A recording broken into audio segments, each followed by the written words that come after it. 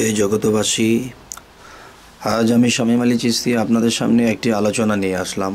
সে আলোচনাটি হলো যে মানুষ কোনো ভালো কাজ করতে চাইলে তা করতে নিজের থেকে বাধার সৃষ্টি হয় এবং কেউ যদি মানুষের উপকার করবে, আল্লাহর কাছে ভালো হবে, এমন কিছু কেউ নিয়ত করে যখন অগ্রসর হয়, তখন দেখা যায় সে তার নিজের থেকে বাধার সৃষ্টি হয়। শয়তান কখনো চাবে না যে একজন মানুষ উপরে উঠুক, আর সেই শয়তান কিন্তু দূরে নয়, সে খুব নিকটে। মানুষের ভিতরে থেকেই সে শয়তানি করাইতেছে। তবে শয়তানের যে একটা ডিউটি বা কাজ, সেটা সবচেয়ে বড় কাজ হলো তার একজন মানুষের মধ্যে, সে সবচেয়ে বড় কাজ হলো যে মানুষের মধ্যে কাম উৎপত্তি করে দেয়।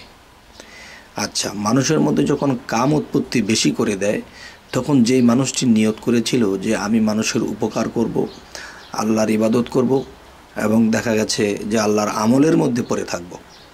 তো যখনই এই নিয়তটা করে এবং সেদিকে অগ্রসর হয়, তখন তার মনের ভিতরে কাম মিশ্রণ হয়ে যায়।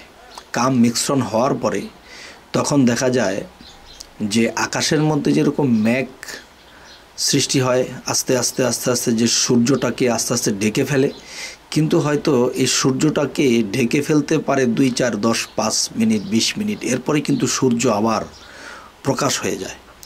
ঠিক মানুষের মধ্যে যখন সেই কাম উৎপত্তি করার জন্য যেই শয়তান ছয়টা রিপুর সাথে মিশ্রণ হয়ে এবং সেই ছয় রিপুর মাস্টার হলো কাম, আর সেই কামের মধ্যে সে শয়তান মিশ্রিত থাকে, তখন কি হয় যে সেই মানুষটি যখন আল্লাহর ইবাদত বা মানুষ উপকার বা যেই কাজগুলো করলে আল্লাহর কাছে ভালো হবে, আল্লাহর সন্তুষ্টি হবে, সেই কাজগুলোর মধ্যে যখন রওনা দেয়, তখন কি হয়? তখনই দেখা যায় যে সেই লোকটি হঠাৎ করে মেঘ, মেঘাচ্ছন্ন হয়ে গেছে, থেমে গেছে।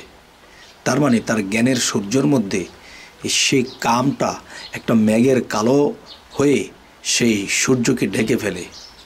আর সেই সূর্যকে কখনোই ডেকে ফেলতে পারে না। কিন্তু দুই, চার, পাঁচ মিনিট, দশ মিনিট পরে কিন্তু আবার সূর্য বের হয়ে আসে। তো এই জন্য বলব যে মানুষ যখন ভালো কিছু নিয়ত করে এবং ভালো কিছু করতে যখন অগ্রসর হবে, তখন সেই শয়তান মানুষের মনের সাথে মিশ্রিত হয়ে ছয় রিপুর মাস্টার কামের সাথে মিশ্রণ হয়ে তখন কি হয়? যে মেঘাচ্ছন্ন হয়ে যায়, তখন সেই মানুষটি খারাপ দিকে রওনা দেয়। যে ভালো কিছু রওনা দিয়েছিল করবে সেই জায়গায় দেখা গেছে একটা বন্ধুর সাথে চলে গেল খারাপ জায়গায়, বা বন্ধুর সাথে মদ খাইতে চলে গেল, বা বিভিন্ন নেশায় পড়ে গেল। পরে যখন সে চিন্তা করল, হায় হ্যাঁ আমি এগুলো কী করলাম? তখন শয়তান তো হাসিল হয়ে গেছে, শয়তান তো জয় হয়ে গেছে। তখন শয়তান যখন তার থেকে একটু নীরব হয়ে গেছে বা একটু দূরে সরে গেছে, তখন তার ভিতরে হেকুরি হেকুরি কাঁদা কাটি শুরু করেছে। যেমন হেকুরিয়ে হেকুরিয়ে যখন কাঁদতে শুরু করেছে, তখন দেখা যায় যে ওই সময়ে শয়তান ক্লান্ত হয়ে তখন তার কাজ সে সমাধা করে সে রেস্টে আছে বা তার থেকে দূরে আছে। তখন কিন্তু তার ভিতরে যখন সে বিবেক কাঁদে, তখন দেখা যায় সেই লোকের চোখে পানি দেখা যায় যে হায় হায় কি করলাম? কিন্তু কি করলাম? আগে তো মেঘাচ্ছন্ন বিষয়টা দুই চার পাঁচ দশ মিনিট এটা আমি দেখি নাই। ওই মেঘাচ্ছন্ন আমাকে গ্রাস করেছে। তো এই জন্য কিন্তু আল্লাহ কোরআনে বলেছে, তোমরা সতর্ক হও যে তোমরা মানুষ শয়তান এবং জিন শয়তান হতে বিরত থাকো। এই শয়তান তোমাদের পূর্বপুরুষদেরকেও ধ্বংস করে আসছে।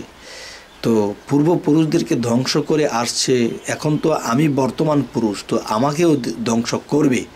যদি সতর্ক হই, ছয় রূপের ছয় রিপুর ঊর্ধ্বে থাকা। এবং দেখা যায় যে শয়তান আমাকে অসহসা দিবেই, সে আমার পিছনে লাগা থাকবেই। তাই আমি কি করব? যে আস্তে আস্তে দেখা যায় দুনিয়াতে যে আমিত্ব খাবার যে খাবারে আমিষ আছে সেই খাবারটা আস্তে আস্তে বর্জন করব। শরীরের জীব দেহটা জীর্ণশীর্ণ হবে এবং দেখা যায় যে মানুষের শরীর শীতল হয় যদি মানুষে শাকসবজি বা নিরামিষ জাতীয় খাবার খায়। আর যদি একজন মানুষ ওই ধরনের খাবার খায়, যে ধরনের খাবারগুলো খেলে সেই মানুষটার শরীরটা অস্থির হয়ে যায়। সেই খাবারগুলো খেলে তখন জীবাত্মা শক্তি পায়। তখন তার মধ্যে একটা প্রেশারের সৃষ্টি হয়। তখন তার মনে পড়তো না স্ত্রীর কথা, তার মনে পড়তো না খারাপ কোনো চিন্তা ভাবনা কিন্তু এসব খাওয়া দাওয়া করার পরে শরীরে যখন প্রেশারের সৃষ্টি হয়েছে, তখন সেই জিনিসটা তার মনের মধ্যে জেগে গেছে। কিন্তু সেটা কিন্তু আগে জাগেনি।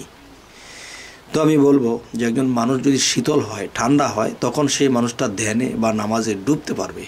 আর যখন ডুববে, তখন সেই ডুবন্ত অবস্থায় ঢেউয়ের তালে একদিন সেই আল্লাহ ও রাসুলকে দেখে ফেলবে। তবে হে জগতবাসী জানি না আমার এই আলোচনা আজকে আপনাদের কেমন লাগল।